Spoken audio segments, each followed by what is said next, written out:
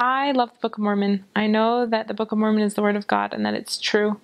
I know that it has the power to change lives and to change lives personally. And I know that as we read the Book of Mormon and especially live by its teachings, we see miracles in our lives. There's a scripture in the Book of Mormon that talks about by small and simple things, great things are brought to pass. And I think it's a pretty small thing to read the Book of Mormon, but great and amazing and miraculous changes happen as we study the Book of Mormon. I know that it's a testament of Jesus Christ. I know that it, it, it teaches us about his life and his mission, his teachings, and that as we read the Book of Mormon, we, we draw closer to him.